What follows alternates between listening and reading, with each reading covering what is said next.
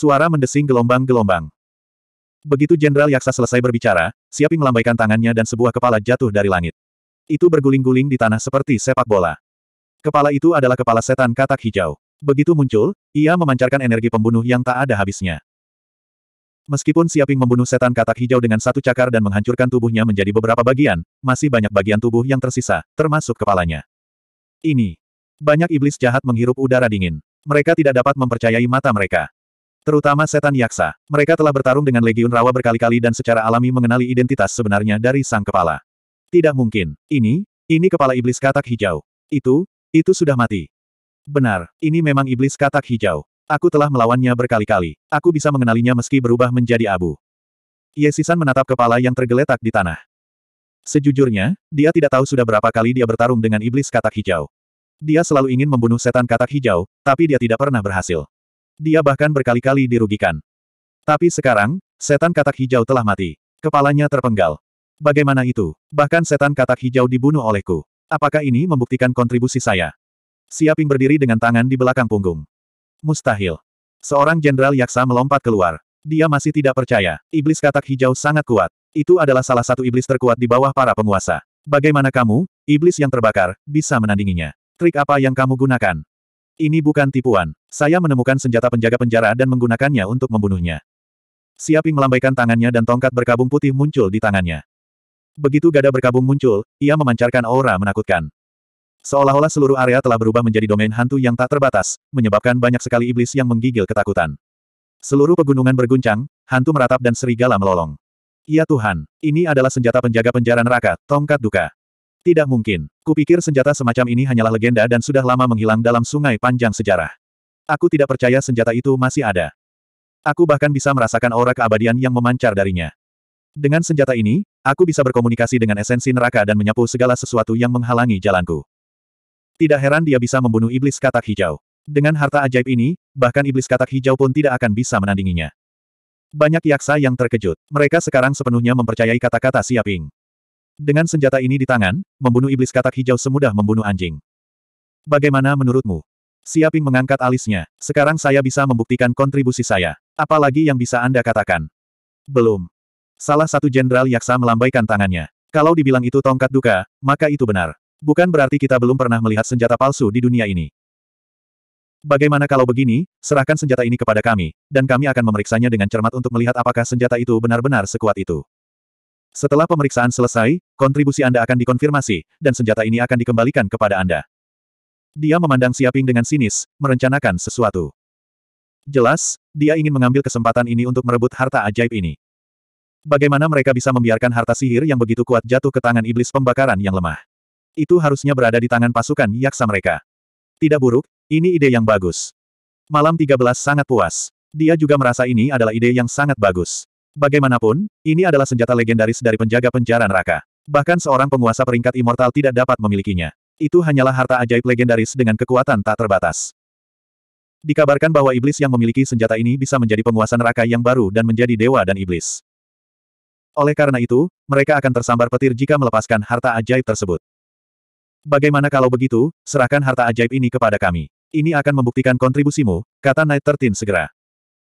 Yesisan segera berkata, setelah kamu membuktikannya, kamu akan segera menerima satu juta batu dunia bawah dan dipromosikan satu peringkat. Kamu akan dapat memimpin pasukan, sebuah rumah besar, 3.000 prajurit kematian iblis, dan bahkan legiun pembakaran akan menjadi dipromosikan satu peringkat. Dia menyebutkan serangkaian manfaat, berharap Siaping akan menyerahkan tongkat duka harta karun ajaib. Bodoh. Siaping meliriknya dan dengan ringan mengucapkan dua kata. Apa, apa katamu? Katakan lagi jika Anda punya nyali. Night Tertin melompat dan berteriak dengan marah. Dia menatap Siaping dan berkata, aku memberimu wajah tetapi kamu tidak menginginkannya.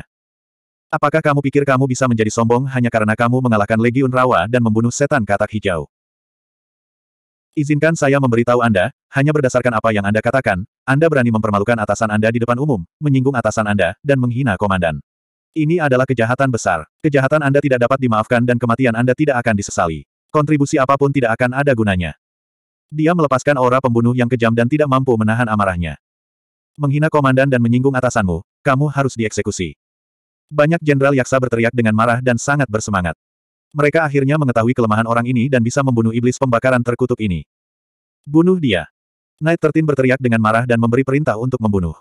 Dia sudah melepaskan semua kepura-puraan dan tidak peduli dengan aturan apa pun. Faktanya, senjata penjaga penjara neraka ini, tongkat duka sudah cukup untuk menghancurkan peraturan apa pun. Jika Tuan mengetahui hal ini, mereka tidak akan ragu untuk memulai perang antar Tuan. Suara mendesing gelombang-gelombang. Begitu dia selesai berbicara, semua jenderal yaksa di sekitarnya muncul. Mereka memegang garpu rumput baja dan tampak garang. Sayap di punggung mereka mengepak dan mereka menyerang dengan kecepatan kilat. Suara mendesing, suara mendesing, suara mendesing, suara mendesing. Dalam sekejap, cahaya hitam keluar. Kekosongan di sekitarnya dipenuhi dengan aura pembunuh yang mengerikan. Itu menutupi langit dan menutup kekosongan, hampir tidak menyisakan ruang bagi Siaping untuk melarikan diri. Omong kosong apa ini? Kalian semua, enyahlah. Siaping memegang tongkat duka di tangannya dan dengan ringan memukul kekosongan. Gemuruh gelombang-gelombang. Tiba-tiba, serangkaian riak muncul di kedalaman kehampaan. Ada ombak yang menakutkan, ratapan hantu, dan lolongan serigala. Seolah-olah seluruh dunia sedang menangis. Dewa dan iblis yang tak terhitung jumlahnya menangis dan langit menghujani darah. Ah! Para jenderal yaksa tidak mengetahui apa yang terjadi dan langsung terkena kekuatan ini. Itu menembus pertahanan tubuh mereka dan langsung membombardir kedalaman jiwa mereka. Mereka semua menjerit menyedihkan. Dengan beberapa poni, kepala mereka langsung pecah seperti semangka yang meledak. Mereka dipecah menjadi beberapa bagian dan diubah menjadi pasta daging. Bahkan jiwa mereka pun hancur. Inilah kekuatan mengerikan dari tongkat duka. Dengan ayunan tongkat, langit dan bumi berguncang, alam semesta menangis, dan hantu serta dewa terkejut. Anda. Yetertin dan iblis yaksa lainnya terkejut dan marah. Iblis pembakaran ini begitu berani bahkan berani membunuh prajurit dan jenderal pasukan yaksa. Dia terlalu sombong. Kamu 13. Siaping berkata dengan ringan, aku bisa membunuh setan katak hijau semudah membunuh seekor anjing. Kalian ayam dan anjing tembikar yang tidak berguna, entah dari mana asalmu, ingin memaksaku menyerahkan senjata ajaibku, staf berkabung. Sudahkah kamu menimbang berat badanmu sendiri? 2082. Burning Demon, kamu terlalu sombong. Ini bukan tempat bagimu untuk berperilaku kejam. Yesisan sangat marah dan menyerang Siaping. Tergi, sinar langit yaksa. Dalam sekejap, sayap di punggungnya berkibar dan tubuhnya bergerak secepat kilat. Dia berubah menjadi cahaya hitam dan menghilang di depan semua iblis. Banyak iblis jahat yang tercengang. Kecepatan ini adalah yang terbaik di Rock City. Ini juga merupakan mistik Yesisan yang terkenal. Dengan kecepatannya yang tak tertandingi, dia bisa membunuh musuh yang kuat tanpa gagal. Astaga! Dalam sekejap mata, Yesisan tiba di depan Siaping. Dia memegang trisula baja di tangannya dan menikam Siaping dengan aura yang bisa menembus kekacauan, menghancurkan zaman, dan merobek kehampaan. Tidak ada satupun iblis yang tiada taranya yang mampu menahan serangan ini. Bahkan kekosongan di sekitarnya beriak, mengandung niat membunuh yang tak terbatas. Orang hanya bisa membayangkan betapa mengerikannya serangan ini. Tidak diragukan lagi, ini adalah gerakan pembunuhan yang tiada taranya. Itu adalah strategi pembunuhan paling kuat dari klan Yaksa. Dia ingin membunuh Siaping dalam sekejap, menghancurkan roh asalnya, dan menghilangkan ancaman besar ini.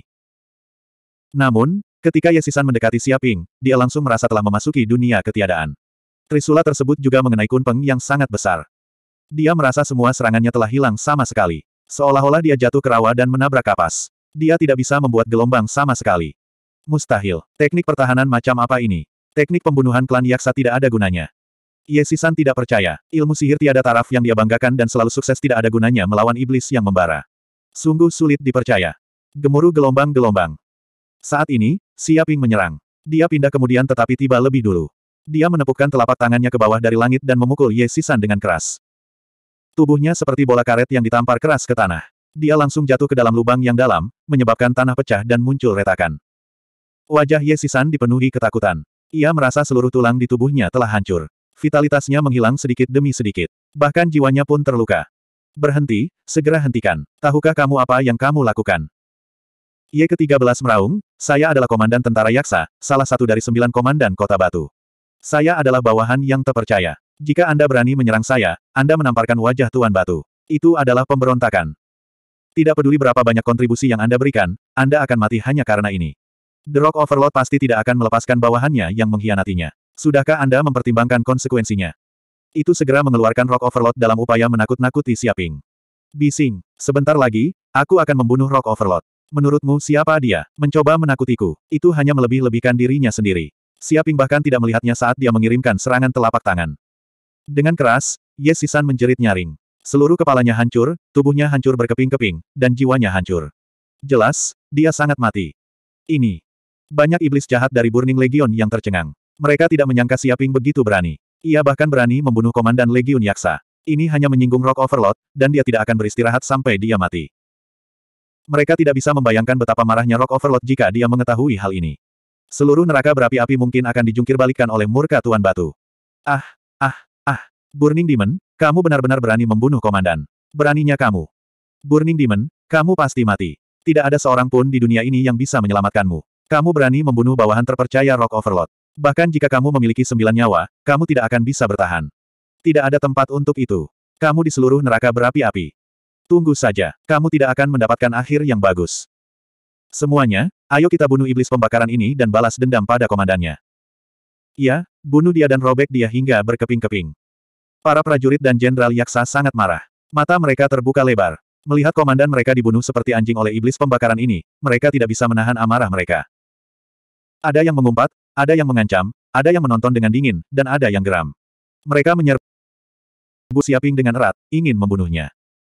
Kamu masih berani sombong. Kalian semua, mati. Melihat tentara yaksa menerkamnya seperti orang gila, Siaping bahkan tidak melihat ke arah mereka. Dia mengedarkan sihir kuat di tubuhnya, memegang staf berkabung, dan melemparkannya ke depan dengan ringan. Gemuruh gelombang-gelombang. Segera, dunia meratap dan melolong. Roh-roh pendendam meratap, hantu dan dewa meratap. Gelombang demi gelombang gelombang spiritual yang menakutkan meledak ke arah para yaksa. Seperti riak, mereka menyebar dengan cepat. Hanya dalam waktu singkat, seluruh pegunungan Loes telah terkepung. Seolah-olah pegunungan telah jatuh ke dalam alam hantu yang tak terbatas, dan hantu jahat yang tak terhitung jumlahnya bermunculan. Pada saat ini, seluruh dunia, aliran udara, kerikil, dan segala sesuatunya berhenti. Bahkan waktu seakan berhenti. Semua prajurit dan jenderal yaksa berhenti di udara. Orang bahkan bisa melihat ekspresi marah dan gila mereka. Tapi saat kekuatan ini meletus, tubuh mereka diserang oleh staf berkabung. Gumpalan aura hitam menyerbu tubuh mereka seperti kutukan. Dong! Dalam sekejap, banyak tentara dan jenderal yaksa, terlepas dari kekuatan mereka, hancur berkeping-keping. Roh primordial mereka hancur berkeping-keping begitu saja. Bahkan tulang mereka pun tidak tersisa. Suara mendesing gelombang-gelombang. Hujan darah muncul di udara dan mengalir ke tanah, membentuk sungai darah. Selain iblis dari Burning Legion, semua iblis dari pasukan yaksa di seluruh pegunungan Loes terbunuh oleh serangan ini. Tidak ada pengecualian.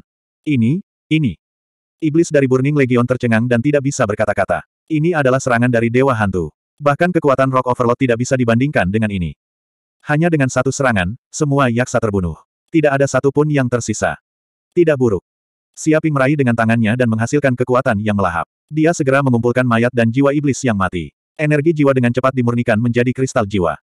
Energi jiwa tidak hanya mencakup yaksa yang baru saja meninggal. Itu juga termasuk energi jiwa dari banyak iblis yang mati dalam pertempuran. Sekarang, dia telah melahap semuanya. 500,000. Mata Siaping berbinar. Kali ini, dia telah memperoleh energi jiwa yang setara dengan 500 ribu puncak kultivator alam kesengsaraan petir. Ini bisa dianggap sebagai panen besar. Tentu saja, panen terbesar adalah staf berkabung dan satu miliar batu dunia bawah. Khususnya, satu miliar batu dunia bawah sudah cukup baginya untuk membangkitkan satu miliar sel gagak emas dan mengembangkan garis keturunannya. Sekarang dia telah memusnahkan pasukan yaksa, itu setara dengan berselisih dengan Rock Overlord. Jika dia terus tinggal di sini, dia pasti akan mengalami konflik serius dengan Rock Overlord. Dia juga tidak akan bisa tinggal di Rock City. Oleh karena itu, Siaping memutuskan untuk segera meninggalkan tempat ini dan melahap batu dunia bawah dalam jumlah besar untuk meningkatkan kekuatan garis keturunannya. 2083. Suara mendesing. Sosok Siaping melintas ketika dia memasuki kehampaan, dengan cepat meninggalkan tempat itu. Apa yang kita lakukan? Setan-setan jahat dari Burning Legion saling berpandangan. Mereka juga tidak tahu harus berbuat apa. Komandan mereka telah membunuh semua iblis dari pasukan Yaksa dan segera melarikan diri, hanya menyisakan sisa-sisa pasukan mereka. Untuk sesaat, mereka semua tercengang. Mereka saling memandang karena segala sesuatunya berkembang begitu cepat sehingga mereka tidak dapat bereaksi. Tidak ada jalan lain, kita hanya bisa lari. Kata iblis jahat bertanduk kambing. Apa maksudmu? Berlari. Ke mana kita bisa lari? Itu benar. The Rock Overlord sangat marah. Kita akan mati ke mana pun kita lari. Setan-setan jahat itu tidak berdaya. Mereka sangat takut pada Tuan Setan. Mereka adalah monster yang tidak bisa mereka lawan. Kita akan mati jika kita tidak lari. Iblis jahat bertanduk kambing itu berkata dengan sungguh-sungguh, sekarang komandan kita telah menghancurkan seluruh pasukan yaksa, itu setara dengan melumpuhkan salah satu lengan Tuan Batu. Ini adalah perseteruan hidup dan mati. Dan sebagai anggota Burning Legion, kami sudah dicap oleh komandan kami meski kami baru saling kenal sehari. Jika kita kembali ke Rock City sekarang, kita pasti akan dicabik-cabik oleh Rock Overlord. Jelas dan logis, berbicara pada saat yang paling genting. Memang benar, kita tidak bisa melebih-lebihkan kebaikan Tuan Besar. Jika dia tidak bisa menangkap komandan kita, dia mungkin akan melampiaskan kemarahannya pada kita. Jika itu terjadi, kita akan benar-benar mati. Saya setuju dengan hal ini. Kita masih memiliki peluang untuk bertahan hidup jika kita lari sekarang. Jika kita kembali, kita akan mati. Benar, ayo kabur ke tempat lain. Kita tidak bisa kembali ke Rock City. Iblis jahat dari Burning Legion segera membuat keputusan untuk lari bersama Siaping. Sehari kemudian, berita itu dengan cepat menyebar ke Rock City dan sampai ke telinga Rock Overlord. Pada saat ini, semua jenderal tingkat tinggi di kota batu telah berkumpul di kediaman Tuan untuk pertemuan tingkat tinggi. Rock Overlord duduk di singgah sananya. Dia tampak seperti batu di permukaan dan sangat tenang. Namun, tidak ada yang tahu seberapa besar kemarahan yang tersembunyi di balik penampilan dingin itu. Saya sebelumnya mengirimkan pasukan Yaksa dan batalion garda depan untuk menangani pasukan rawa untuk tambang batu dunia bawah. Pada akhirnya, saya menerima kabar bahwa pasukan Yaksa hancur total, batalion garda depan melarikan diri, dan semua batu dunia bawah hilang. Apa yang sedang terjadi? Kata Tuan Batu dengan suara rendah. Pupil matanya dipenuhi amarah yang tak terbatas, seperti gunung berapi yang bisa meletus kapan saja. Binatang buas jahat yang tak terhitung jumlahnya ketakutan. Melapor ke Tuan-Tuan. Seorang komandan iblis segera melompat keluar, menurut intelijen, iblis pengkhianat adalah iblis yang terbakar itu. Pengkhianat itu memimpin batalion garda depan untuk memberontak dan membunuh komandan Korps Yaksa Ye Sisan dan semua prajurit Korps Yaksa. Setan-setan lainnya dari kam garda depan semuanya telah meninggalkan dan mengkhianati kota batu kita. Tolong beri perintah untuk segera membunuh pengkhianat keji ini. Itu penuh dengan kemarahan yang wajar.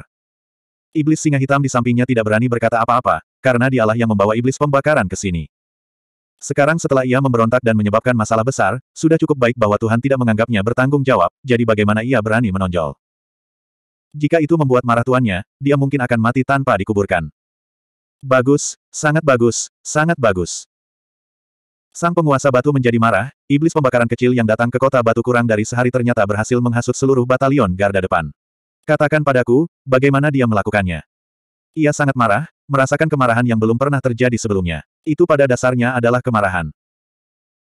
Karena ia telah menjadi raja peringkat immortal sejak lama, tidak pernah ada iblis yang berani bermain-main dengannya seperti ini, bahkan membawa kerugian besar pada kota batunya. Ini adalah tamparan kejam di wajahnya di depan begitu banyak iblis jahat. Tuan-tuan, saya pikir iblis yang terbakar itu kemungkinan besar dikirim oleh Tuan Rawa. Mereka bahkan mungkin dengan sengaja membocorkan informasi tentang urat biji untuk melenyapkan korps yaksa. Pada akhirnya, mereka sangat berhasil. Kami tidak hanya berhasil kehilangan korps yaksa, kami bahkan kehilangan batalion garda depan. Seorang komandan iblis bertanduk banteng menyuarakan tebakannya. Dia merasa bahwa iblis yang terbakar itu mungkin adalah bawahan yang diam-diam dikirim oleh Tuan Rawa. Kalau tidak, itu tidak akan terjadi secara kebetulan. Tidak, menurutku itu mungkin bukan rencana Tuan Rawa. Seorang komandan iblis racun melompat keluar dan menyarankan pendapat yang berbeda, karena dalam pertempuran ini, Korps Rawa tampaknya telah dimusnahkan sepenuhnya. Bahkan komandan Korps Setan Katak Hijau tewas dalam pertempuran ini. Jika itu adalah rencana Tuan Rawa, tidak akan sebodoh itu membiarkan jenderal kepercayaannya mati. Ini sama sekali tidak sepadan. Saya rasa ini mungkin ada hubungannya dengan Tuan ketiga. Mungkin ia ingin menggunakan kesempatan ini untuk membuat kita bertarung sampai mati dengan Swamp Overload, menyebabkan perang, lalu mendapatkan keuntungannya. Rasanya itu mungkin skema Tuan yang ketiga. Omong kosong, kenapa kamu tidak tahu bahwa ini adalah tipu muslihat Tuan Rawa? Setan katak hijau itu mungkin belum mati. Kami hanya menemukan kepalanya. Siapa yang tahu kalau kepala itu juga palsu? Iblis bertanduk banteng itu segera membalas, masih bersikeras bahwa ini adalah rencana Tuan Rawa. Apakah kamu punya otak? Kepala itu jelas milik setan katak hijau. Bagaimana bisa palsu? Mengapa kamu tidak mencoba memalsukannya? Sekalipun Anda bodoh, jangan berpikir bahwa setan lain sama bodohnya dengan Anda. Komandan iblis racun itu memarahi dengan keras. Kedua komandan iblis itu mulai saling memarahi, berdebat tanpa henti. Mereka semua merasa cara berpikir mereka benar. Cukup, kalian semua tutup mulut. The Rock Overlord berteriak dengan marah, menyebabkan seluruh istana raja bergetar. Udara dipenuhi aura menakutkan dan menindas. Bahkan kehampaan pun tampak berderit. Semua komandan iblis segera tutup mulut. Mereka tidak bisa terus membuat marah Tuhan, kalau tidak mereka pasti akan mati. Segera mobilisasi semua iblis di Rock City. Kamu harus menemukan pengkhianat terkutuk pembakaran iblis itu untukku.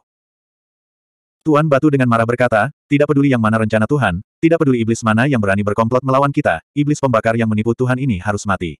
Bahkan jika dia lolos ke ujung neraka, dia harus ditemukan. Aku bersumpah akan merobeknya menjadi beberapa bagian. Tidak ada seorang pun yang bisa mengkhianati Tuhan ini dan tetap keluar tanpa cedera. Saya ingin dia mati tanpa tempat pemakaman. Ia sangat marah. Aura menakutkan menyebar, mengguncang seluruh singgasana hingga muncul retakan kecil.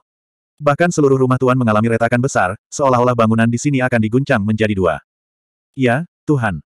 Para kepala suku iblis mematuhinya. Mereka tahu bahwa Rock Overlord benar-benar marah kali ini. Setelah dipermainkan oleh iblis pembakaran dan kehilangan dua pasukan elit, tidak ada tuan yang mampu menanggung penghinaan seperti itu. Us. 2084 Siaping meninggalkan pegunungan Loes dan pergi ke tempat terpencil. Dia menemukan sebuah gua, membuat formasi mantra untuk menyembunyikan auranya, dan mengasingkan diri. Siaping segera mengeluarkan satu miliar batu bawah yang diperolehnya dari pegunungan Loes dan meletakkannya di tanah. Mereka menumpuk seperti gunung, memenuhi seluruh gua dengan kekuatan dunia bawah yang padat. Jika iblis neraka melihat ini, mereka semua akan merasa iri. Ini adalah jumlah batu bawah tanah yang tidak akan pernah bisa mereka peroleh sepanjang hidup mereka. Sungguh, ini adalah jumlah kekayaan yang mengejutkan. Bahkan iblis tingkat raja pun akan tergerak. Tapi sekarang, semua hal ini mengarah padanya. Wadah api neraka. Tanpa berkata apa-apa lagi, Siaping mengaktifkan mistik garis keturunannya, dan sebuah wadah besar muncul dari udara tipis. Itu diukir dengan tulisan neraka, berputar dan menggeliat seperti cacing tanah, dan memancarkan kekuatan misterius dan mendalam. Gemuruh gelombang. Sambil berpikir, dia melemparkan satu demi satu batu bawah ke dalam wadah. Dalam beberapa saat, batu-batuan di bawahnya dibakar, ditempa, dan dimurnikan oleh Helvire Crucible. Mereka diubah menjadi kekuatan dunia bawah yang agung, dan kemudian berubah menjadi untayan kabut abu-abu. Tak lama kemudian, seluruh gua dipenuhi kabut abu-abu, memenuhi setiap sudut dan celah. Siaping mengaktifkan seni energinya, dan 108 ribu pori-porinya bernapas masuk dan keluar seperti ikan paus yang menelan makanan. Kekuatan melahap yang mengerikan meraung, dan kabut abu-abu di udara mengalir ke tubuhnya melalui pori-porinya. Begitu kekuatan dunia bawah memasuki tubuhnya, seolah-olah dia telah meminum tonik lengkap. Setiap sel gagak emasnya dengan rakus melahap kekuatan dunia bawah dari neraka. Awalnya, kekuatan apinya terlalu kuat, dan dia tidak memiliki banyak kekuatan dunia bawah. Hal ini menimbulkan ketidakseimbangan di antara keduanya. Tapi segalanya berbeda sekarang. Setelah melahap begitu banyak batu bawah, dia mengisi celah di tubuhnya. Rasanya seperti yin dan yang menyatu. Kresek gelombang-gelombang. Dengan pasokan kekuatan dunia bawah yang sangat besar, sel Golden Crow Siaping mulai bangkit. 10 ribu, 100 ribu, 1 juta, 3 juta, 5 juta, 10 juta. Seluruh gua dipenuhi suara bintang yang meledak. Seolah-olah gagak emas bangkit di dalam dirinya, dan kekuatan api yang mengamuk keluar dari dirinya. Setelah jangka waktu yang tidak diketahui, dia telah memurnikan total 500 juta batu dunia bawah. Separuh dari mereka telah menghilang. Kebutuhan untuk memperbaiki begitu banyak batu dunia bawah sedikit di luar imajinasi Siaping. Namun, melahap begitu banyak Netherstone bukannya tanpa manfaat. Pada saat ini, jumlah sel Infernal Golden Crow yang terbangun di tubuhnya akhirnya mencapai satu miliar. Saat miliaran sel neraka gagak emas terbangun, seolah-olah mereka telah mencapai titik kritis. Dong! Tubuh Siaping bergetar, dan seluruh tubuhnya mulai terbakar. Satu miliar sel neraka gagak emas bergetar di tubuhnya, melonjak ke anggota tubuh, tulang, dan meridiannya. Pada saat ini, seluruh tubuhnya telah berubah menjadi api emas gelap. Bahkan setiap tetes darahnya telah berubah menjadi lahar dan terbakar hebat. Pada saat ini, seluruh tubuhnya seperti matahari besar, memancarkan panas yang tak ada habisnya. Panas ini sangat mengerikan, dan bahkan formasi pembatas di sekitarnya tidak dapat menahannya. Dalam sekejap, mereka terbakar habis. Bahkan pegunungan besar tempat dia berada terbakar menjadi bola lava, yang berubah menjadi sungai yang mengalir melintasi daratan dengan suara gemuruh. Cahaya tak berujung menembus awan. Bahkan awan tebal pun tidak mampu menahan cahaya terik. Ia merobek kegelapan, seolah-olah telah berubah menjadi matahari abadi. Seluruh neraka inferno bersinar dengan cahaya yang belum pernah terjadi sebelumnya, menembus awan seperti pilar cahaya. Bukan, ini bukanlah pilar cahaya biasa, melainkan pilar yang menghubungkan langit dan bumi. Itu seperti tiang cahaya yang sudah ada sejak dahulu kala. Adegan ini mengguncang seluruh neraka berapi-api. Cahaya ini tidak bisa disembunyikan sama sekali. Diameter pilarnya saja-saja yang mencapai 30 ribu kilometer. Semua iblis, di mana pun mereka berada, melihat ke arah pilar cahaya. Itu karena ini adalah sesuatu yang belum pernah dilihat oleh neraka berapi-api sebelumnya. Neraka berapi-api diselimuti kegelapan sepanjang tahun. Sekalipun ada lava yang meletus, ada batasan berapa banyak cahaya yang bisa dihasilkannya. Itu seperti dunia kegelapan. Tapi sekarang berbeda. Pilar cahaya yang sangat besar merobek awan dan menerangi seluruh neraka yang berapi-api. Ke mana pun ia pergi, kegelapan menghilang. Hal ini sangat mengejutkan dan belum pernah terjadi sebelumnya. Ya Tuhan, apa yang terjadi? Mengapa pilar cahaya ini muncul? Itu menembus neraka yang berapi-api. Banyak setan yang terkejut. Beberapa tidak bisa menahan diri untuk tidak menutup mata. Bertahun-tahun hidup dalam kegelapan telah menyebabkan mata mereka merosot. Mereka tidak terbiasa dengan lingkungan terang.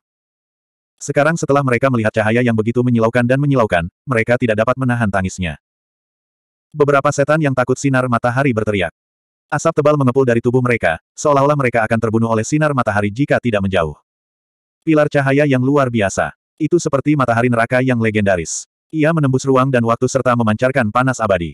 Mengapa ia muncul di neraka yang berapi-api? Apa yang terjadi di neraka berapi-api? Mungkinkah harta rahasia telah muncul di suatu tempat di neraka berapi-api? Itu sebabnya hal ini terjadi. Para iblis dan hantu kegelapan berdiskusi dengan sungguh-sungguh. Mereka sangat terkejut. Mereka merasa bahwa ini mungkin merupakan perubahan yang belum pernah terjadi sebelumnya di neraka berapi-api, sebuah pemandangan ajaib yang belum pernah terlihat sejak zaman kuno. Sejenak mereka kaget, tidak yakin dengan apa yang terjadi. Banyak setan yang sangat penasaran. Mereka bergerak cepat dan langsung terbang menuju pilar cahaya. Mereka ingin mengetahui apa yang terjadi di neraka berapi-api. Adegan ini juga ditemukan oleh sembilan iblis peringkat penguasa besar dari neraka berapi-api. Berbeda dengan iblis lainnya, mata mereka dipenuhi ambisi dan keinginan. Fenomena seperti itu benar-benar muncul dan mengguncang neraka yang berapi-api. Itu pasti merupakan kelahiran suatu harta rahasia neraka. Harta karun rahasia seperti itu tidak boleh jatuh ke tangan tuan lain. Kalau tidak, aku pasti akan mati. Segera berangkat dan rebut harta rahasia neraka ini. Bahkan jika kita tidak mendapatkannya, kita tidak bisa membiarkan tuan lain mengambil keuntungan darinya. Sembilan penguasa peringkat abadi mengambil keputusan pada saat yang sama. Mereka semua menginginkan harta rahasia neraka yang tiba-tiba muncul. Ini mungkin merupakan pertemuan yang tidak disengaja. Begitu mereka mendapatkannya, mereka pasti akan maju lebih jauh. Kekuatan mereka akan meningkat pesat, jauh melebihi tuan lainnya. Pada saat itu, salah satu dari mereka pasti akan menjadi penguasa mutlak neraka berapi-api. Pada saat itu, mereka bahkan mungkin bisa menuju ke dunia neraka yang lebih kuat dan bersaing dengan penguasa lainnya. Mereka tidak perlu lagi bersembunyi di tempat kecil ini. Saya adalah saya. 2085 Saat ini, Siaping sedang tidak ingin peduli dengan apa yang terjadi di dunia luar. Dia tidak tahu bahwa fenomena tersebut telah mengguncang seluruh Flaming Hell. Banyak setan dan monster mengelilinginya dari segala arah. Bahkan ada sembilan penguasa peringkat immortal. Hal-hal ini tidak penting. Dia hanya tenggelam dalam transformasi tubuhnya yang konstan. Dong dong dong gelombang. Jantungnya berdetak berirama, seperti planet yang bergetar. Ini menghasilkan gelombang-gelombang suara yang hampir nyata dan menyebar ke segala arah. Batuan, baja, berlian, dan material sangat keras lainnya di sekitarnya semuanya hancur. Bahkan gunung-gunung pun runtuh akibat benturan tersebut, dan puluhan retakan mengerikan muncul di tanah, membentang lebih dari 10 kilometer. Bahkan raungan guntur macan tutul tidak bisa menandingi kekuatan sebesar itu. Dapat dikatakan bahwa hanya suara detak jantung Siaping yang dapat membunuh makhluk hidup yang tak terhitung jumlahnya dan menghancurkan tubuh iblis dan monster. Sayang gelombang. Saat jantungnya berdetak kencang, Siaping bisa merasakan sejumlah besar darah mengalir keluar dari kedalaman jantung emas gelapnya. Warnanya emas gelap dan rune infernal golden crow yang padat sepertinya muncul di dalamnya. Itu seperti sungai, bergemuruh dan mengalir, mengalir ke anggota tubuh dan tulangnya, memasuki setiap sudut tubuhnya. Transformasi berjalan dengan pesat. Setiap sel di tubuhnya dengan cepat berubah menjadi api. Apa yang sedang terjadi? Seluruh tubuhku telah terelemen. Mata Siaping berbinar. Dia tiba-tiba menemukan bahwa tidak hanya seluruh tubuhnya mengeluarkan api, tetapi seluruh tubuhnya telah berubah menjadi api. Setiap tetes darah sepertinya telah berubah menjadi lahar. Setiap tulang, setiap meridian, bahkan setiap helai rambut telah berubah menjadi api emas gelap. Mereka membakar dengan ganas dan mengeluarkan panas dan energi yang tak ada habisnya. Dia seperti raksasa api yang berjalan di neraka. Dia telah berubah menjadi makhluk yang menyala-nyala. Samar-samar, Infernal Golden Crow sepertinya muncul di belakangnya, mengaum ke langit seperti totem. Jika seseorang melihat Siaping saat ini, mereka pasti akan ketakutan setengah mati. Karena tubuh Siaping terbakar. Nyala api menyebar, melelehkan bebatuan dan tanah menjadi lahar. Dengan sedikit lambaian tangannya, dia akan menciptakan badai yang menyala-nyala dan membentuk gunung berapi. Bahkan ketika dia bernapas atau menguap, udara yang dihembuskannya akan menjadi badai api yang mengerikan. Itu cukup untuk menghancurkan gunung setinggi seribu meter secara instan. Bahkan jika Siaping duduk di tempat tanpa bergerak, api yang keluar dari pori-porinya akan benar-benar mengubah ratusan ribu kilometer di sekitarnya. Seluruh wilayah dikelilingi oleh api yang mengerikan, berubah menjadi lautan api. Gunung-gunung terbakar, berkomunikasi dengan lahar jauh di dalam mantel bumi dan meletus dari waktu ke waktu. Gemuruh gelombang. Ketika sel terakhir di tubuhnya diubah menjadi api, Siapi merasakan sejumlah besar informasi masuk dari kedalaman garis keturunannya. Itu adalah warisan yang terukir di kedalaman garis keturunan gagak emas neraka. Dia segera tahu bahwa setelah dia membangunkan satu miliar sel Infernal Golden Crow, dia akan mendapatkan mistik garis keturunan baru. Ini kelahiran kembali darah. Mata Siaping mengungkapkan cahaya kemasan menakutkan yang menembus kehampaan. Dia sangat gembira dan sangat bersemangat. Ketika dia membangunkan satu miliar sel Infernal Golden Crow, tubuhnya segera berubah dan berubah. Dia benar-benar memperoleh seni dewa garis keturunan kelahiran kembali darah yang misterius. Dengan mistik ini, dia tidak akan mati meskipun tangan dan kakinya dipotong, jantungnya ditusuk, atau bahkan kepalanya dipenggal. Selama dia memiliki setetes darah tersisa, dia akan bisa terlahir kembali. Meski tidak seseram tubuh abadi sage abadi, di mana dia bisa terlahir kembali meski dia hanya punya satu sel tersisa, mistik ini masih sangat menakutkan. Itu setara dengan mendapatkan setengah tubuh abadi, setengah langkah menuju alam abadi. Bahkan jika dia bertarung melawan Sage Abadi sekarang, dia tidak akan takut. Jika mereka benar-benar bertarung, mungkin akan memakan waktu satu tahun sebelum pemenang dapat ditentukan, kecuali jika stamina salah satu pihak habis. Dapat dikatakan bahwa mistik ini telah meningkatkan kemampuannya untuk melindungi dirinya sendiri. Hem, kesengsaraan surga telah tiba. Pada saat ini, Siaping tiba-tiba merasakan jantungnya berdebar. Ia mengangkat kepalanya dan melihat bahwa langit sudah dipenuhi awan gelap, seluas satu miliar kilometer. Di saat yang sama, awan gelap ini terus berputar, menciptakan pusaran air yang mengerikan. Tampaknya ia berkomunikasi dengan sumber energi di bagian terdalam neraka berapi-api, memicu kekuatan kesengsaraan di bagian terdalam neraka berapi-api. Energi dari kesengsaraan petir ini terus berkumpul, memancarkan aura destruktif yang mengerikan. Kadang-kadang, petir kesusahan muncul di kedalaman awan gelap, seperti naga petir yang berenang. Ini sebenarnya adalah 108 kesengsaraan petir, dan ini adalah kesengsaraan petir yang unik dari neraka, sembilan petir menyala di dunia bawah. Siaping segera merasakan betapa mengerikannya kesengsaraan petir di langit. Dibandingkan saat dia membangunkan 100 juta sel Infernal Golden Crow, itu jauh lebih kuat. Ini sebenarnya membentuk 108 kesengsaraan petir. Mungkin ini ada hubungannya dengan peningkatan kekuatannya yang tiba-tiba. Akibatnya, hal itu membuat marah sumber energi alam semesta dan berkomunikasi dengan kekuatan neraka berapi-api, sehingga mengakibatkan kesengsaraan petir yang menakjubkan ini. Pada saat ini, di kedalaman awan gelap di langit, sambaran petir berbentuk bola terus bergulir. Mereka juga mengandung kekuatan api kesengsaraan, seolah-olah seluruh awan gelap terkondensasi dari sembilan petir menyala di dunia bawah. Setiap nyala api berbentuk bola sepertinya berisi rune neraka yang padat, seolah-olah diukir dengan informasi yang tak terhitung jumlahnya. Mereka terus terbakar, menyebabkan ruang di sekitarnya runtuh dan gua-gua spasial muncul. Wilayah ini dipenuhi dengan keheningan yang mematikan.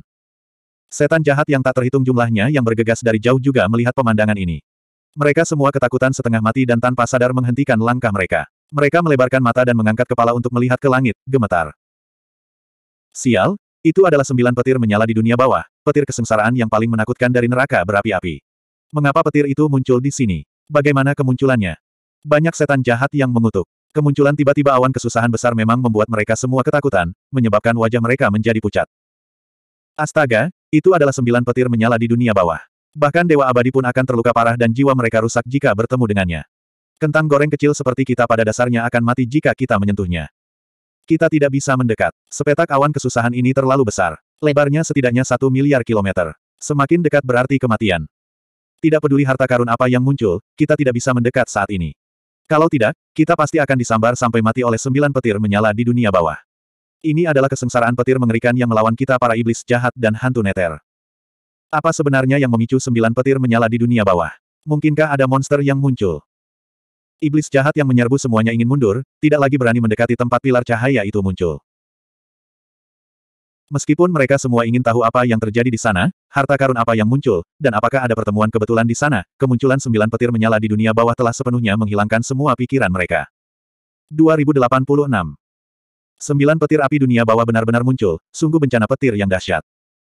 Di dekat awan kesusahan, setan berkepala hiu setinggi 15 meter muncul. Saat itu muncul, kehampaan terdistorsi, dunia berguncang dan sebuah fenomena muncul. Lautan gelap tampak muncul di belakangnya. Di kedalaman lautan, tampaknya ada hiu iblis ganas yang melahap bangkai binatang musuh. Itu dipenuhi dengan bau busuk. Ini adalah si Shark Demon, penguasa peringkat abadi, si Shark Overlord.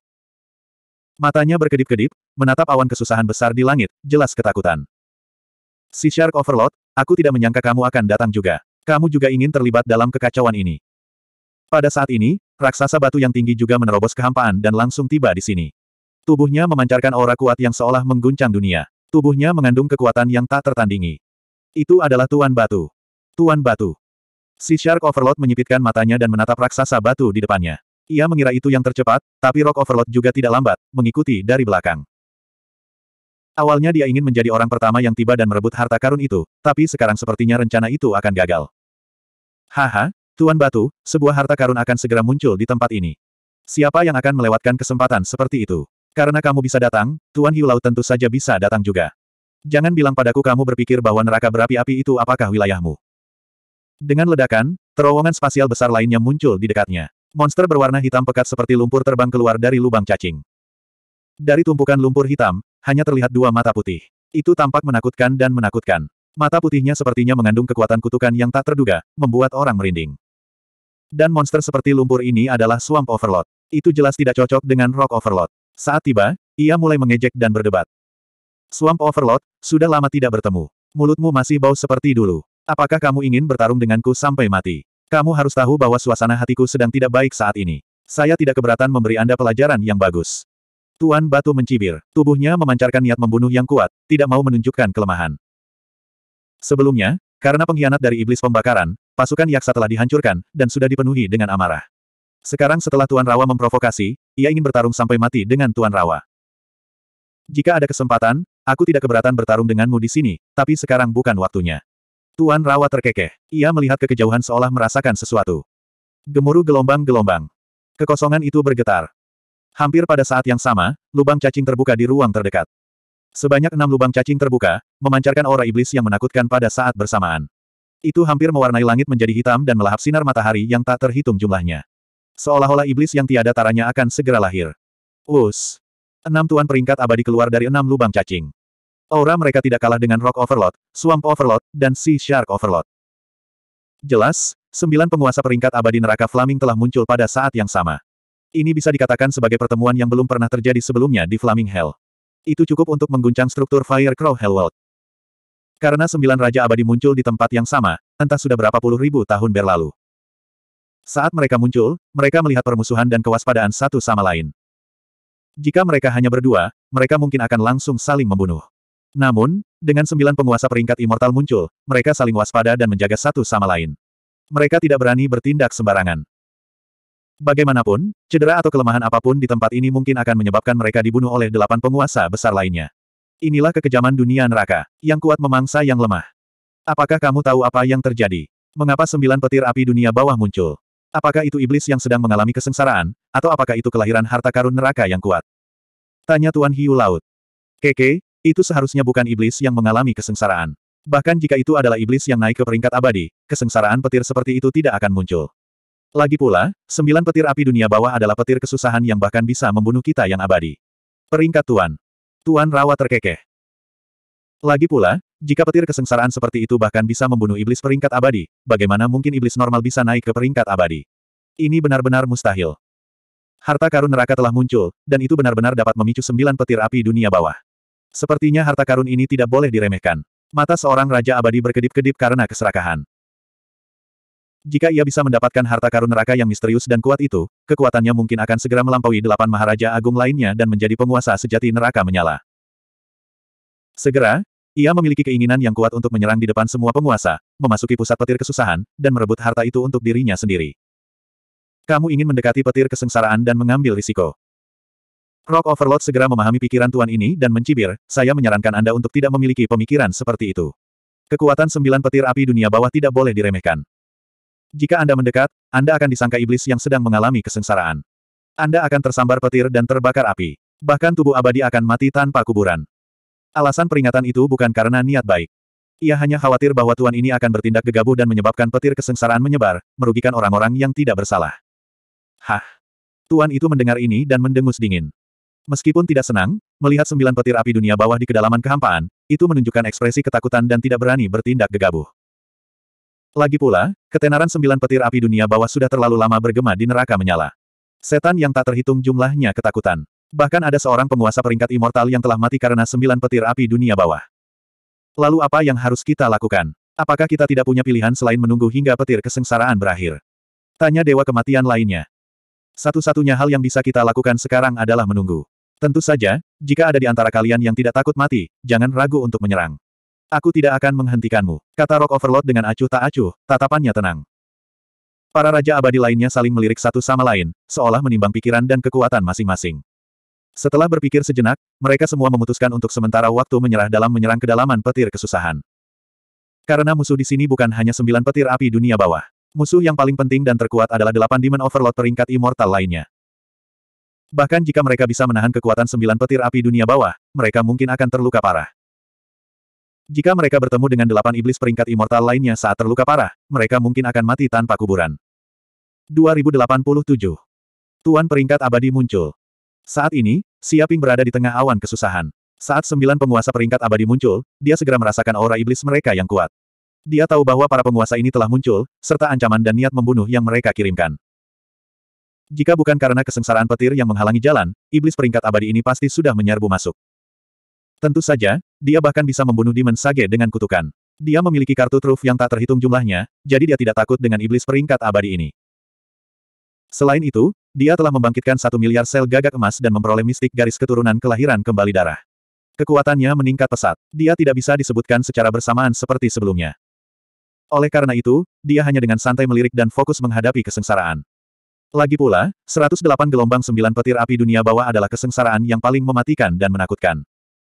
Jika dia tidak bisa memblokirnya, dia akan mati. Gemuruh gelombang. Tepat pada saat ini, awan kesusahan bergemuruh. Kekuatan kesengsaraan petir muncul secara ekstrim, seolah-olah tidak bisa menunggu lebih lama lagi. Sembilan guntur api dunia bawah turun dari langit, dan satu demi satu bola api seperti meteor menghantam, mengandung kekuatan penghancur yang mengerikan. Kekuatannya seperti bom nuklir.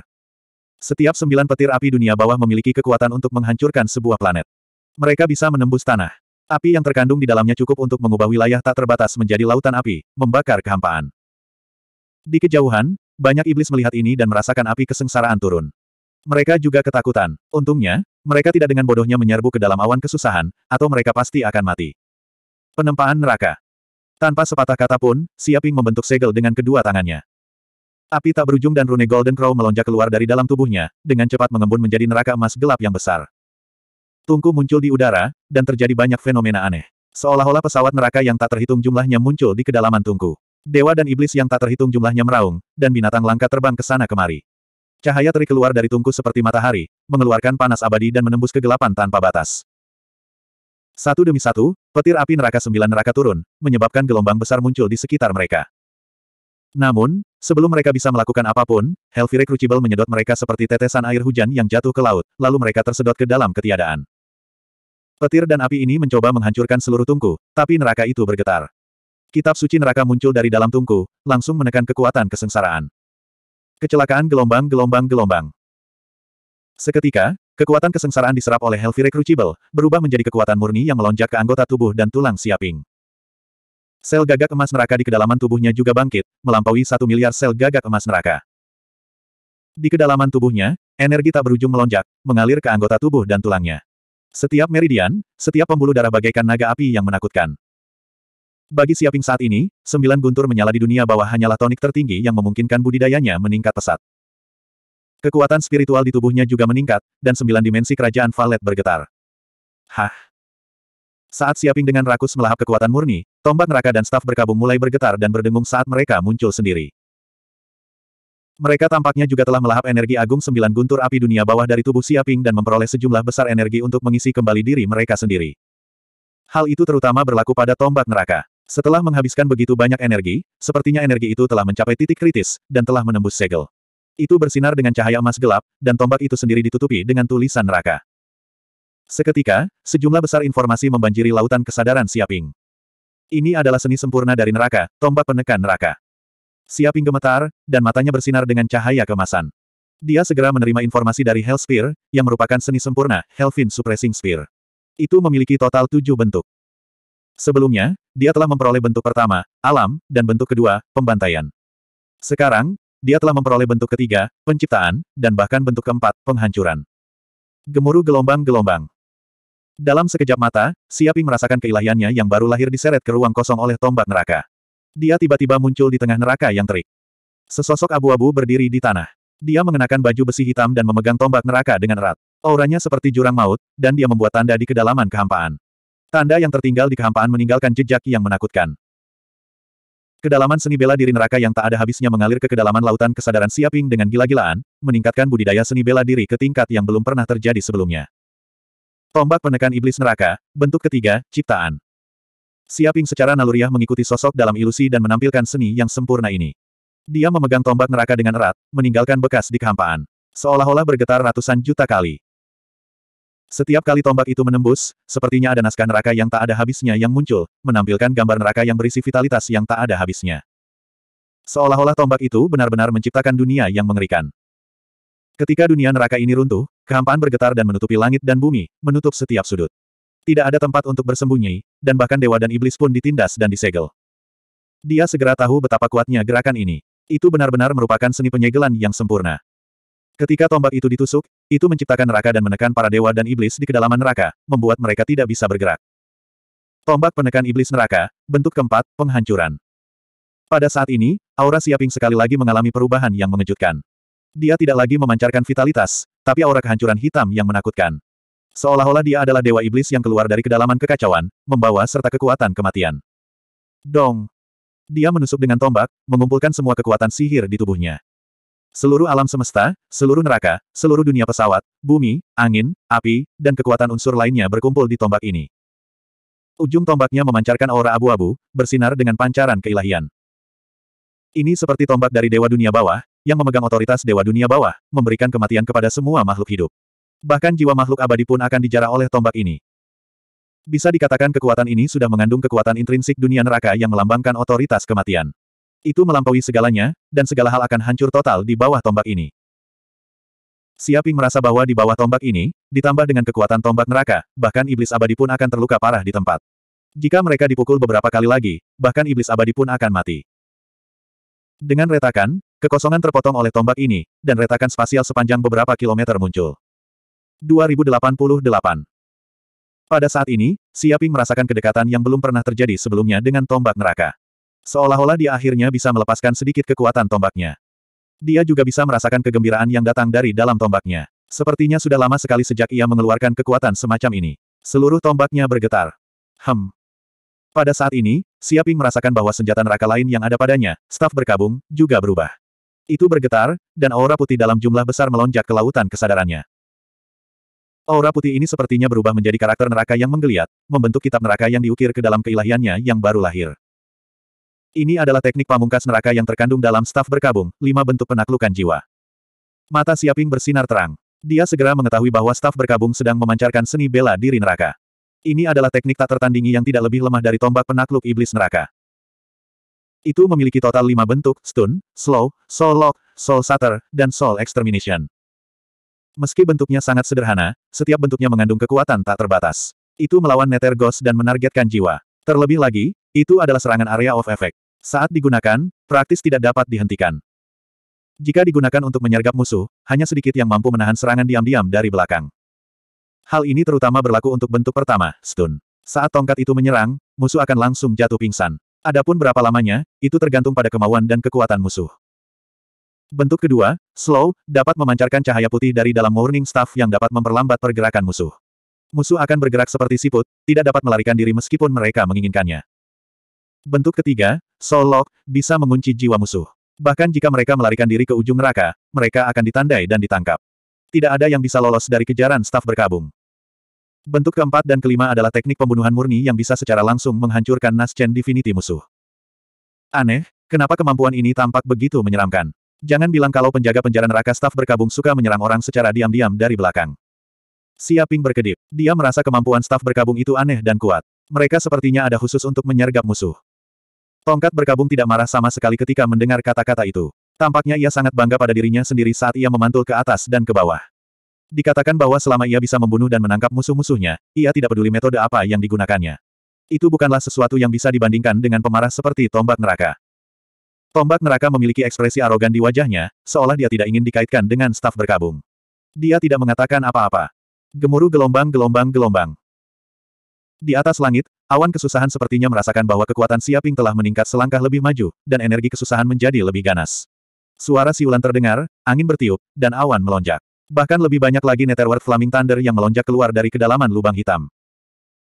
Tiba-tiba, Kehampaan bergetar, dan naga hitam yang terbentuk dari kekuatan neraka melonjak keluar dari kedalaman lubang hitam. Tubuh mereka ditutupi tanda neraka. Ini adalah naga penghancur, dan ia akan menghancurkan apa pun yang mencoba melawan kehendak surga. Bang bang bang. Naga hitam ini meraung dan memuntahkan petir penghancur Netherworld Fire Thunder. Seperti nafas naga, mereka menghancurkan segala sesuatu di sekitarnya, menyebabkan riak muncul di kehampaan. Waktu yang tepat. Siaping tidak takut. Memegang tombak neraka, dia tampaknya telah berubah menjadi dewa dunia bawah. Totem gagak emas neraka muncul di belakangnya, dan api tak berujung membakar tubuhnya. Dia langsung melawan petir kesusahan sampai akhir. Tombaknya menembus petir kesusahan, dan pada saat yang sama, dia menggunakan tungku api neraka untuk melahap energi petir kesusahan. Energi di dalam tubuhnya juga meningkat, dan sel-sel gagak emas neraka juga bangkit dengan liar. Kekuatannya juga meningkat secara geometris. Di kejauhan, pertempuran sengit seperti itu secara alami tidak bisa lepas dari perhatian sembilan tuan peringkat abadi. Mereka juga menemukan bahwa orang yang mengalami kesengsaraan bukanlah harta karun, melainkan iblis, dan iblis pembakaran. Apa yang sedang terjadi? Itu sebenarnya adalah iblis pembakaran yang sedang mengalami kesengsaraan. Apakah ia berencana untuk masuk ke peringkat immortal? Apakah Flaming Hell akan melahirkan peringkat immortal ke-10? Melihat pemandangan seperti itu, Swamp Overlord terkejut. Sebelumnya, ia mengira bahwa ini bukanlah iblis yang sedang mengalami kesengsaraan, melainkan suatu harta karun yang telah muncul dan sedang menghadapi kesengsaraan. Namun, jika dilihat sekarang, itu seperti tamparan di wajahnya. Itu memang iblis yang sedang mengalami kesengsaraan. Sial, ia benar-benar mengalami kesengsaraan yang mengerikan seperti sembilan petir api dunia bawah saat naik ke peringkat abadi. Seberapa dalam akumulasinya, seberapa kuat latar belakangnya, jika ia naik ke peringkat abadi, bukankah ia tak terkalahkan di alam abadi? Beberapa tuan peringkat immortal juga terkejut. Mereka bisa merasakan betapa menakutkannya iblis pembakaran yang sedang menjalani kesengsaraannya. Untuk mampu menahan petir api neraka sembilan meter sedemikian rupa, itu adalah sesuatu yang tidak dapat dilakukan oleh satupun dari mereka. Selain itu, ia belum naik ke peringkat abadi. Jika ia benar-benar naik ke peringkat abadi, bukankah itu akan menantang surga? Dalam sekejap, semua tuan peringkat immortal merasakan ancaman yang mendalam. Meskipun Flaming Hell sangat besar, namun ia tidak bisa menampung 10 overlord peringkat immortal, dan seorang overlord peringkat immortal yang tak terkalahkan. Jika iblis pembakaran ini berhasil melewati kesengsaraan, tidak akan ada tempat bagi mereka di neraka menyala. Mereka bahkan mungkin mati di tangan iblis pembakaran ini. Iblis pembakaran, itu iblis pembakaran terkutuk itu. Ia benar-benar muncul di tempat ini, dan sedang mengalami kesengsaraan di sini. Pada saat ini, ketika Rock Overlord melihat penampilan Siaping, kemarahan yang hebat melonjak dari lubuk hatinya. Ia merasakan kemarahan yang belum pernah terjadi sebelumnya, seolah-olah ia telah bertemu musuhnya, dan matanya sangat merah. Oh, Rock Overlord, Apakah kamu mengenali iblis pembakaran ini? Swamp Overlord dan para iblis lainnya memandang ke arah Rock Overlord. Tentu saja aku mengenalinya. Meski berubah menjadi abu, aku akan tetap mengenalinya. The Rock Overlord mendengus dingin, pengkhianat inilah yang membunuh jenderal kepercayaan saya, Yesisan, menyebabkan barisan depan memberontak, dan bahkan menghancurkan korps yaksa, menyebabkan kota batu saya menderita kerugian besar. Saya memiliki dendam yang tidak dapat didamaikan terhadapnya. Mungkinkah korps rawa kita juga dihancurkan olehnya? Swamp Overlord juga mengingat apa yang telah terjadi sebelumnya. Untuk memperebutkan urat batu dunia bawah, Korps Rawa dihancurkan. Sebelumnya ia mengira itu adalah perbuatan Rock Overlord, tapi sekarang tampaknya itu adalah perbuatan Burning Demon.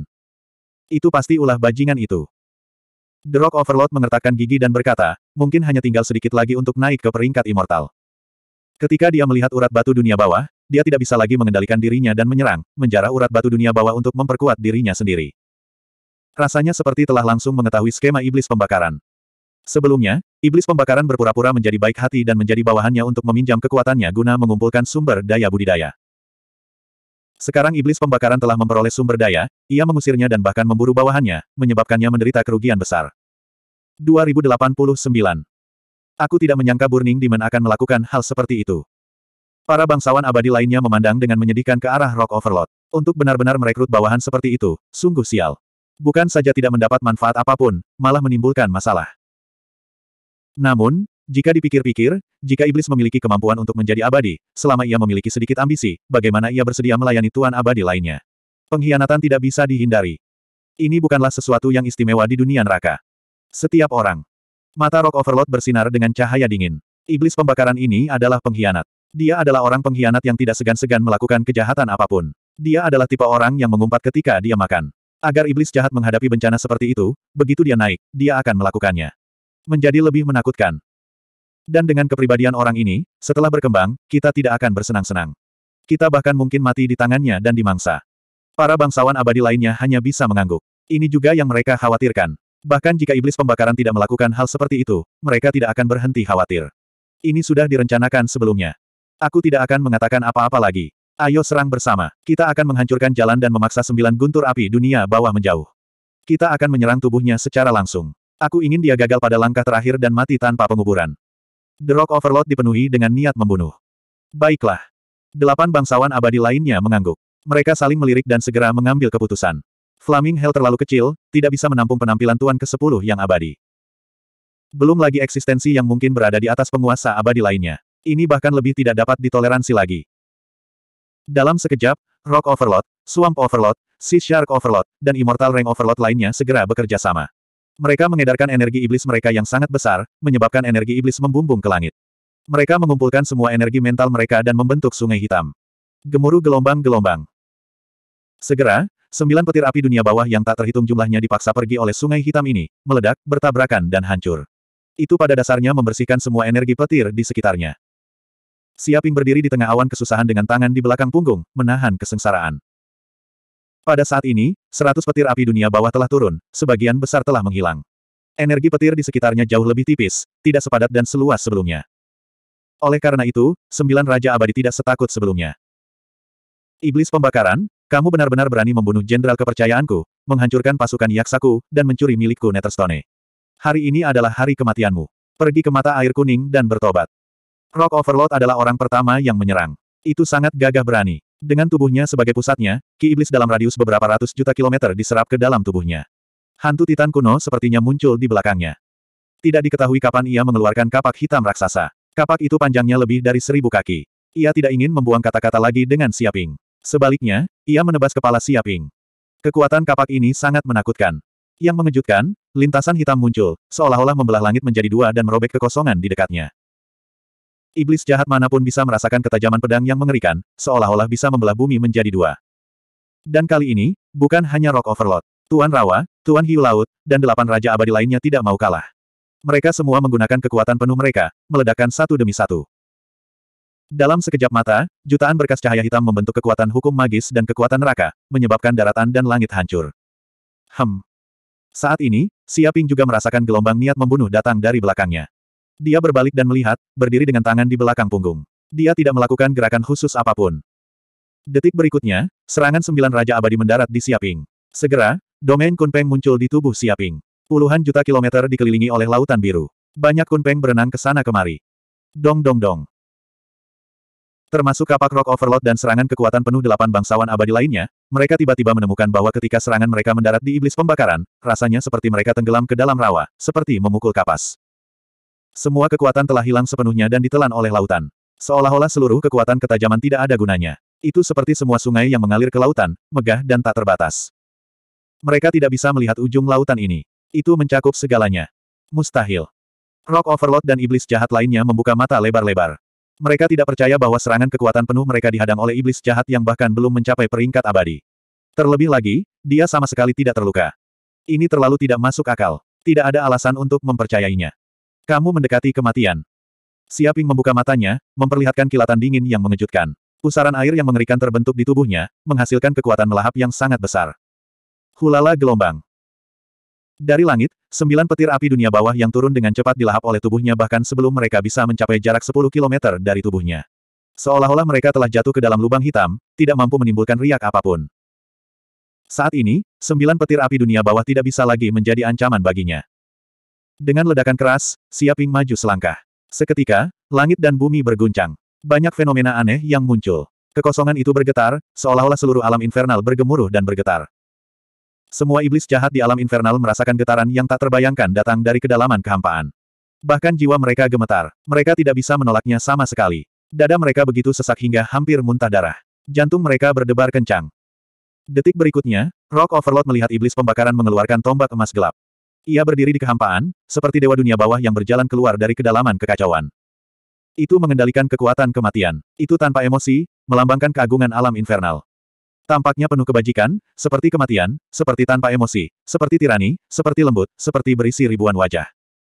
Terutama mata emas gelap itu. Kedalaman murid-murid itu tampaknya mengandung energi yang menakutkan, mengandung esensi kekuatan alam infernal. Itu seperti dewa kuno yang tinggal di dalamnya.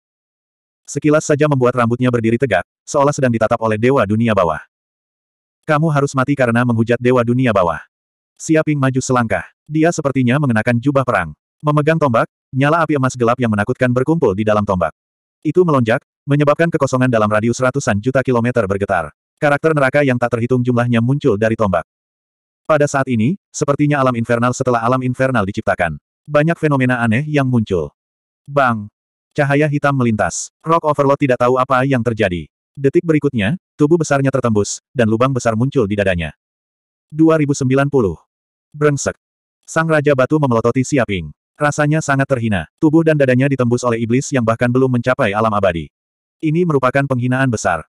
Ia bahkan merasakan sedikit ketakutan di hatinya. Jika ia tidak memiliki tubuh abadi, ia akan ditusuk sampai mati oleh tombak itu. Suara mendesing. Sejumlah besar energi dikumpulkan dari tubuhnya. Dadanya yang patah pulih dengan cepat. Seolah-olah partikel-partikel di dalam kehampaan juga telah mengembun menjadi bebatuan dan mengisi celah di tubuhnya. Seni suci neraka, kapak penghancur gunung inferno. Dalam sekejap, Raja Batu kembali marah. Ia memegang kapak hitam dan menebas Siaping. Kali ini, ia menggunakan seluruh kekuatannya dan menyalakan vitalitas darahnya. Segera, kapak itu berkomunikasi dengan energi asal neraka inferno dan menyerap kekuatan api yang tak ada habisnya. Kapak itu seberat gunung dan secepat kilat. Itu hanya menyisakan kilatan dingin yang mengejutkan di udara. Itu sangat kejam. Tanda-tanda neraka yang tak terhitung jumlahnya muncul di permukaan kapak, berputar seperti cacing tanah. Seolah-olah kapak itu diukir dengan kitab suci neraka yang mengandung energi tanpa akhir. Bahkan iblis peringkat immortal tidak akan berani mengambil kapak ini secara langsung. Tombak penekan setan inferno, gaya ketiga, penciptaan. Bahkan tidak peduli untuk melihat, Siaping mengayunkan tombak neraka, menyebabkan banyak bekas luka muncul di udara. Dalam sekejap mata, banyak gunung berapi, sungai api, dan celah muncul di udara. Tanda-tanda ini menguraikan medan neraka inferno. Seolah-olah neraka inferno turun dari kehampaan. Tombak itu juga menciptakan neraka inferno yang tak terbatas dan megah. Setan peringkat abadi lainnya dapat melihat bahwa neraka inferno yang ada di antara kehampaan dan dunia nyata tampaknya dipenuhi dengan rune neraka yang padat. Ia memiliki kekuatan penyegelan yang mengerikan. Dong! Pada saat ini, kapak menghantam permukaan neraka inferno, menghasilkan suara dentang dan percikan api. Raja Batu mencoba membelah neraka menjadi dua, namun neraka tetap tidak rusak. Ini sama menggelikannya seperti seekor semut yang mencoba mengguncang pohon. Mustahil.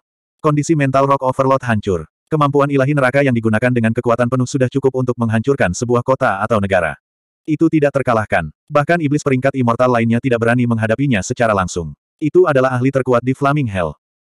Namun, iblis pembakaran terkutuk ini sebelum bisa dengan mudah memblokir tebasan berkekuatan penuhnya. Ia tidak dapat mempercayai pemandangan konyol di depan matanya.